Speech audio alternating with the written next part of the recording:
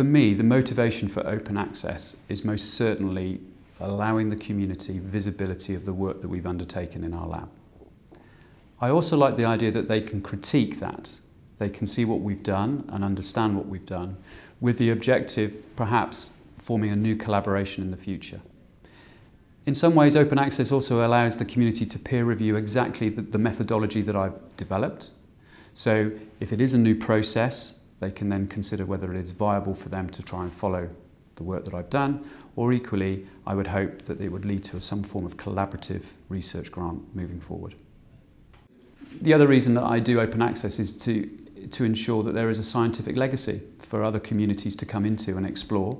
Um, I'd like to think that my work will be built upon rather than just left to one side. And in that regard, you need to have access to the data. In terms of the information that would be publicly available, I, I do feel there's an economic benefit as well to being having that disseminated as far as you can. So again, organisations may lean upon your data to try and generate new products or new concepts uh, moving forward into the future. So open access is paramount for those kind of secondary activities to occur in the future.